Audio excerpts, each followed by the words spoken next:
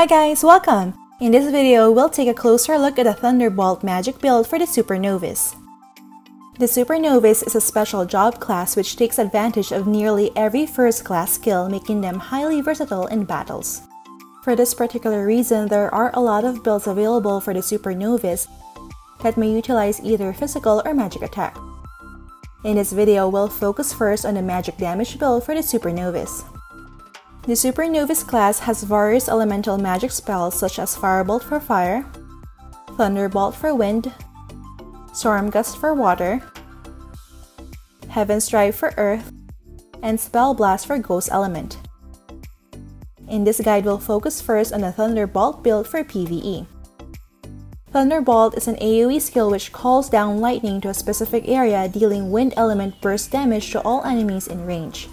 This is a skill that can be obtained from the Aesir Monument runes and we can unlock it up to skill level 7. This is a good Supernovice farming skill option since not only does it give high damage output, it is also an AoE skill giving us more kills per cast. In this guide, we'll discuss the most important stats, skills, runes, equipment cards, and farming tips for the Thunderbolt build. Hopefully by the end of this video, you'll have a better understanding on how to unleash the true potential of the Supernovice Thunderbolt in the battlefield. Alright, without further ado, let's begin.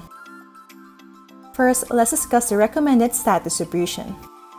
The most important stat to pump first is intelligence as it increases magic attack and helps with SP regen. However, since the spells of the Supernovice has a long chant time, you also need to add points on dexterity which reduces variable cast time. There's no need to put points on Vit or Agi for survivability since this is just a farming build and our priority is to one-hit kill the monsters. However, if you feel the need to add Vit or Agi for increased HP or Flee, it is up to you. Next, let's discuss the most important skills to get. For the Advanced Novice skills, you should allocate points on Level 10 Blessing to increase Strength, Dex, and Int by 20 points.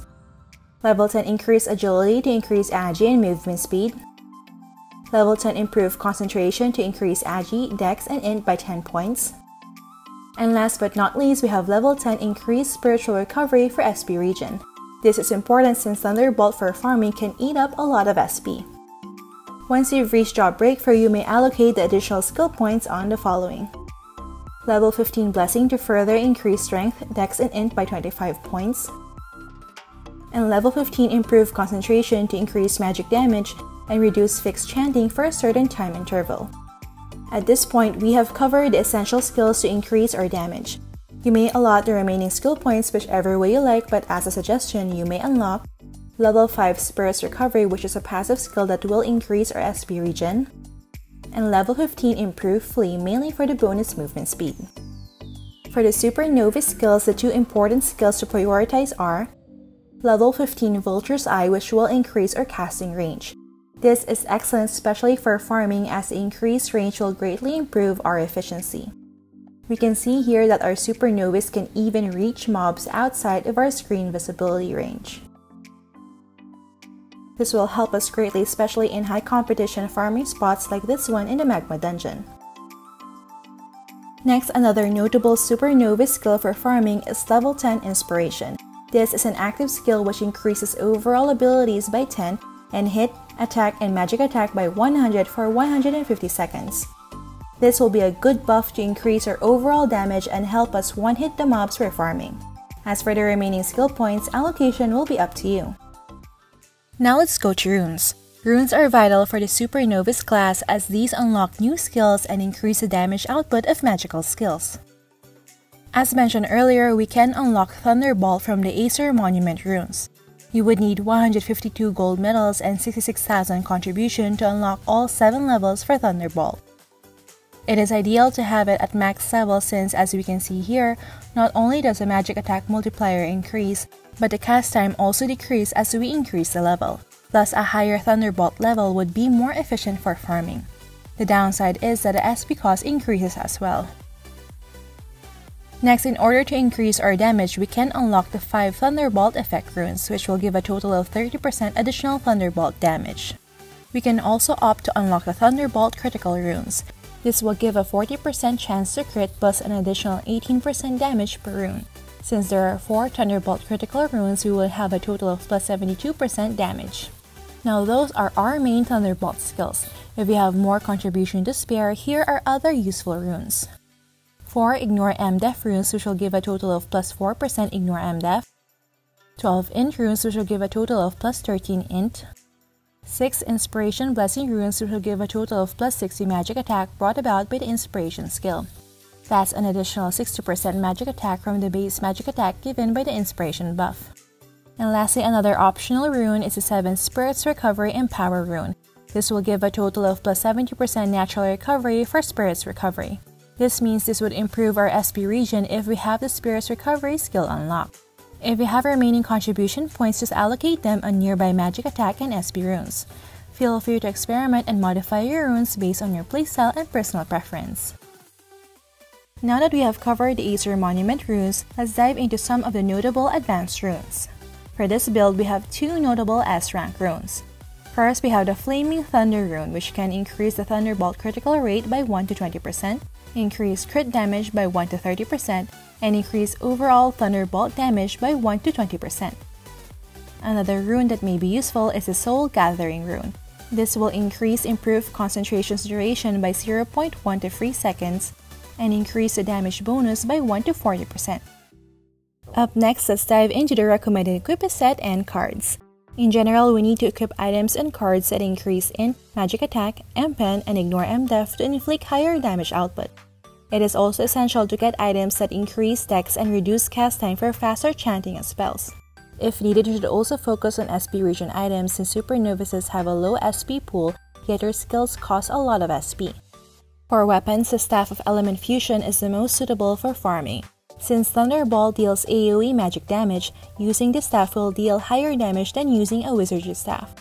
However, you may still use a wizardry staff if you already have one since it does give high raw magic attack when a set effect with the Robe of Cast, Crystal Pumps, and Eye of Dullahan is activated.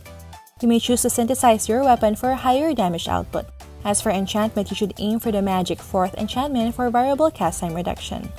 Keep in mind that only race cards affect magic damage, so use Flora card when grinding Anolian which is a fish race, Goblin card when farming Fire Fledgling which is a brute race, and Hydra card when grinding demi-human mobs from the Lighthouse and Homunculus lab maps. For the offhand, we may use either the Sacrifice Book for 30% Ignore MDEF, or a Tier 1 Statue of Mother Mary for plus 4 dex and additional SP regen. As for enchantment, you should aim for the Insight 4th enchantment which grants additional Ignore MDEF for your offhand. Next for the armor, similar to Warlocks, you may use the Robe of Cast as it gives high int, magic attack, and variable cast time reduction. Upgrade and refine it to higher levels for bonus int, dex, magic attack, and ignore MDEF. Similar with your weapon, you should aim for the magic 4th enchantment for variable cast time reduction. As for armor cards, you may use either an Agav card for additional magic attack or Munak Star card for more ignore MDEF. Up next for garments, the best option is a Nato Kingsmon 2, since it is the only garment that grants int. Upgrading and refining it will give additional int, variable cast time reduction, ignore MDEF, and magic attack. Then you should aim for the arcane enchantment for higher magic damage. As for garment cards, equip a Wild Rose Star card for more int. For foot gears, the crystal pumps would be the best option for higher int and magic attack. This is also needed to activate the set effect with the wizardry staff, Robe of Cast, and Eye of Dullahan. An alternative is Rune Boots which also give magic attack. However, for beginners, you may use the shoes first which helps in SP sustainability. Similar with the garment, you should aim for the arcane enchantment for your footgear for higher magic damage. Ideally, for footgear cards, you should have a familiar star card as it gives a significant boost in magic attack. However, this is quite expensive. Cheaper options for beginners are the Black Witch Star card which gives magic attack and int, or a Gira card which grants int and SP regen. For accessories, here are a few options. We have the Eye of Dullahan, the Orleans Gloves, or the new accessory Pocket Watch. The Pocket Watch is dropped by Dark High Wizard Katarina. It gives adequate magic attack, int, dex, and ignore MDEF. Refining it to plus 8 grants plus 5% magic attack. Pairing it with a monocle activates a set effect which increases HP and SP regen speed, ignore MDEF, and magic attack. As for accessory cards, you may inlay a Zero Star card for plus 3% magic attack, or you may also use a raise damage modifier depending on the mobs you're farming. Lastly, for the headgears, these are the suggested items. For the head, we have either the Quaff, Norma the Unicorn, or the Nidhogg's Poison Fang. For Hedwig cards, you may use the Seal Apocalypse card for plus 10% Ignore MDEF, or Incubus card for plus 15% SP Regen. For the face, we have the Epic Spirit Lightning for plus 10% wind damage to amplify the damage of our Thunderbolt. Refining it gives plus 1 wind damage for each refined level. We may also use the monocle if we're using the pocket watch accessory. For the mouth, we have the Angry Snarl for less 10% variable cast time reduction, or the Starlight Lullaby for less 5% cast time variable and plus 4% magic damage. For the back, we have either the Devil Wing, Bright Light, Lost Star Track, or the Golden Archer from the Feast Gacha which gives plus 5% wind element damage. And lastly for the tail, any damage modifying tail such as a Flower Pistol, Wind First Drake, and Golden March would be suitable. As for pets, you may choose any of the following. Sohee for increased magic attack and SP regen, Skoower for dex and int, Mechanical Hound for increased magic attack and reduced SP cost, Harpy for increased magic attack and wind damage, or the Moonlight Flower for increased magic penetration. Lastly, here are some tips you need to take note of when farming. Tip number 1 for your auto skill slots, put in Thunderbolt and your self buffs, Blessing and Inspiration. Tip number 2 When farming, here are some spots to consider. When starting out as an advanced novice, you can use Thunderbolt to farm Anolians in the Glast Heim Culvert. You can do this until you reach base level 99. After reaching level 100, you may go to the Clock Tower Basement 1 and farm phenomena which are of water element. However, they do not spawn quite close together, so some may find it more efficient to still farm in the Anolians even with more than 10 levels gap.